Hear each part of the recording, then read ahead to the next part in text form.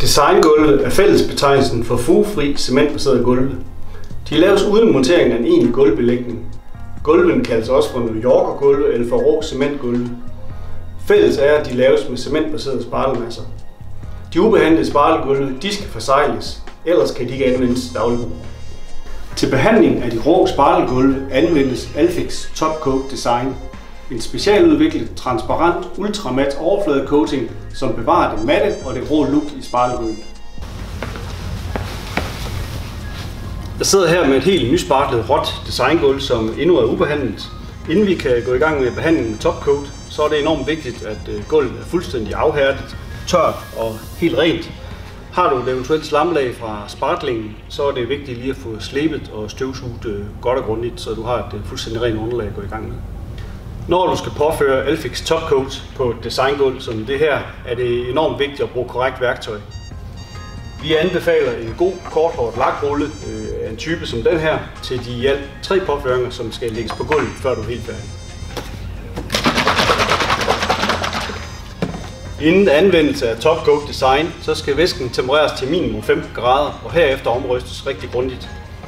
Du kan med fordel anvende en træpind til lige at tjekke for bundfald i dunken, inden du hælder væsken over i påføringsspanden.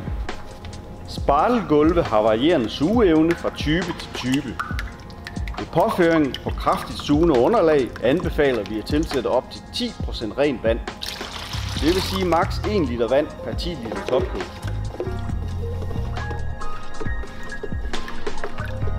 Planlæg, hvordan du vil påføre topcoat i rummet. Start med at påføre langs med kanten med en lille rulle eller egen malerpensel.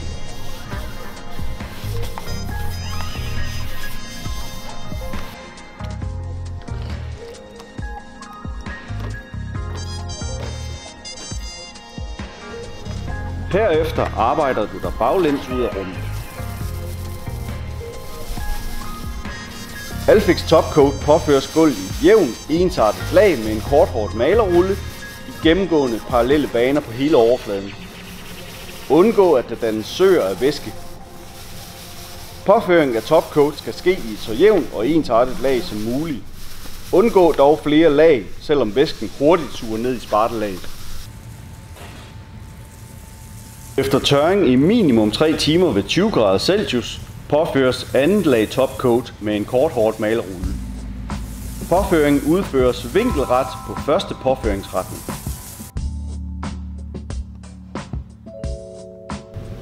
Efter yderligere tørring i minimum 3 timer ved 20 grader Celsius eller dagen efter, påføres det afsluttende tredje lag topcoat. Påføringen udføres vinkelret på anden påføringsretning.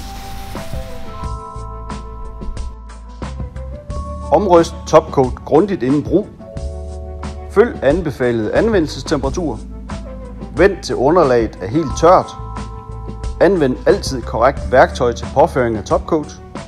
Overhold tørretiden på minimum 3 timer mellem hvert lag.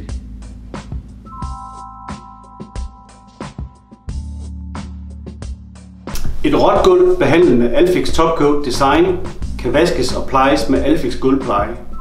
Alfix gulvpleje er et kombineret vask- og plejemiddel, som efter gulvvask giver et beskyttende vokslag med en antistatisk skridsikker overflade. Et topcoat behandlet designgulv kan på mange måder sammenlignes i anvendelsen med et traditionelt matlakeret trægulv. Med et råt spartlet designgulv skal det rustikke look fra spartelaget samt eventuelle overgange fra reparationer efter spartlinger kunne accepteres.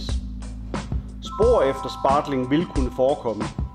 Ved korrekt udførelse fremstår Alfix Topcoat mat og helt transparent.